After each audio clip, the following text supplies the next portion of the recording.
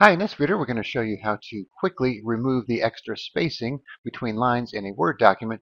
So many times if you copy and paste from something like a website or another type of application like a PDF, you'll get these extra spaces in here. So even though I have my style here on no spacing, you can see I have extra spaces here. And if I go to the paragraph settings here, even if I set this to zero before and after and single line spacing, it still doesn't fix it.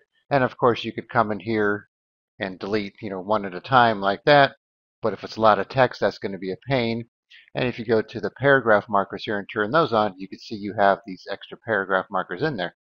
So a quick way to remove this and fix it without having to do it manually is to go to the replace option under editing from the home tab.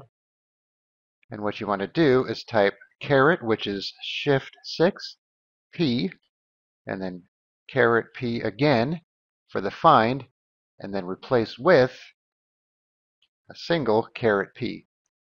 So put this twice for find, and put this once for replace, and then we're going to do replace all. And it has made 47 replacements. Click on OK and close. And now you can see everything is back as a single space.